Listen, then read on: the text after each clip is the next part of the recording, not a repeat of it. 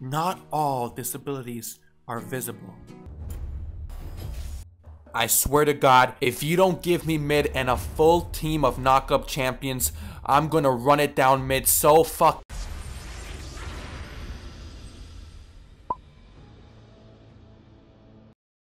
But the Yasuo main disability? Oh, yeah. Um, that one's pretty visible.